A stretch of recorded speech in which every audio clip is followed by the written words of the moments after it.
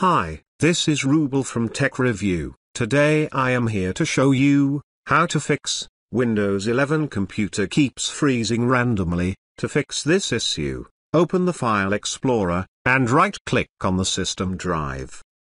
Click on Properties. Click on Tools. Click on Check. Click on Scan Drive. Please wait until finishing it. If it did not resolve your problem, click on the Start menu Type CMD. Click on Run as Administrator. Click on Yes. Type SFC space slash scan now. Press Enter. It will take some times. Please wait until finishing this processes. After finishing this, restart the computer. After restarting the computer hope your problem is solved. If the same problem persists after restarting, then it should be assumed that your hard disk health is decreased. To check the HDD health, open the browser, type and search for HDD Sentinel.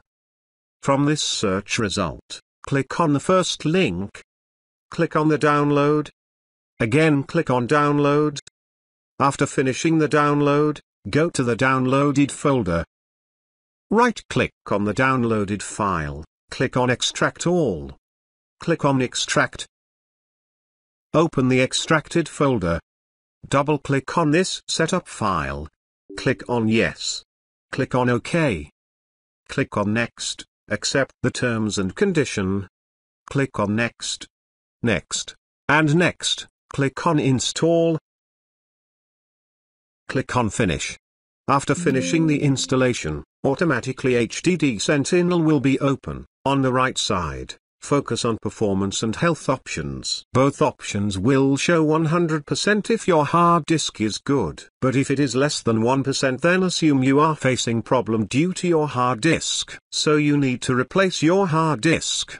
Thanks for watching this video. Hope you like this. Please do subscribe to my channel. Also give a like please. Take care.